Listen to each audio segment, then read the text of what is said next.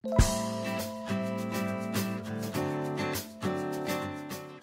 จ้าหน้าที่มาเอง เผยแก๊งกะละแมทำแบบนี้ระหว่างขึ้นถ้ำนาคา กลายเป็นดราม่าร้อนแรงในโลกโซเชียล หลังเพจเพจหนึ่งได้ออกมาเผยอักษรย่อ ดาราหอยทาก ใช้ความเป็นดาราทำตัว VIP จัดพาชาวคณะไปปีนถ้ำนาคา ก่อนแหกกฎหลายอย่าง ทั้งจัดเต็มพิธีบวงสวง มูเตลูจัดหนัก อธิษฐานเป็นชั่วโมงไม่เกรงใจคนอื่น เปิดเพลงดังกระหึ่มโดยงานนี้ชาวเน็ตหลายคนได้พุ่งเป้าไปที่สาวกะละแมพัชรศรีเบญจมาศเพราะเนื่องจากมีรูปที่เจ้าตัว พร้อมมีดอกไม้พานบูชาวางอยู่ด้วย ที่หินข้างๆ ต่อมาสาวกะละแมก็ได้ออกมาชี้แจงว่าไม่ใช่ตน พร้อมบอกว่าไปมือเปล่า และไม่เคยทำพิธีบวงสรวงใดๆ ส่วนหมากภูก็มีคนบนนั้นเขาใส่เป้ไป แบ่งมาให้ถือ เพื่อจบที่ศีรษะตอนไหว้ไหว้เสร็จ เขาก็เก็บกระทงหมากภูไปไหว้กันต่อนำกลับไปบูชาที่บ้าน ล่าสุด ทีมข่าวอมรินได้ลงพื้นที่ไปยังกรมอุทยานแห่งชาติภูลังกา อำเภอบึงโขงหลงจังหวัดบึงกาฬและได้มีโอกาสได้คุยกับหัวหน้ากรมอุทยานภูลังกา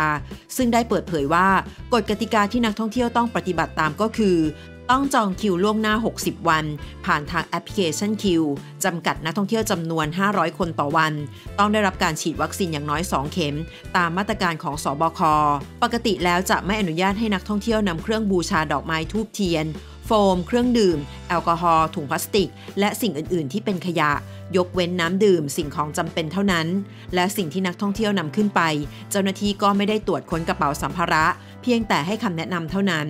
กรณีดาราหรือ VIP นั้น หรือหากต้องการถ่ายทำรายการ ก็ต้องขออนุญาตเป็นกรณีพิเศษ ดาราที่ขึ้นข่าวล่าสุดก็คือคุณกะละแม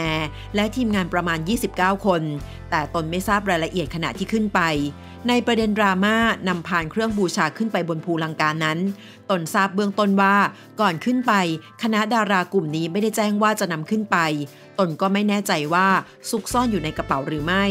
แต่เห็นว่าถือติดมือมาและนำลงมาในช่วงขากลับสำหรับเรื่องการเปิดเพลงก็เป็นลำโพงเครื่องเล็ก เพลงที่เปิดก็เกี่ยวกับบทสวดมนต์ อาจเป็นเพราะอยู่ในถ้ำแล้วเงียบสงัดทำให้ความก้องของเสียงดังกว่าปกติ เจ้าหน้าที่ก็ไม่ทราบว่า ดารากลุ่มดังกล่าวจะพกลำโพงมาด้วย เพราะไม่ได้มีการตรวจค้นสัมภาระ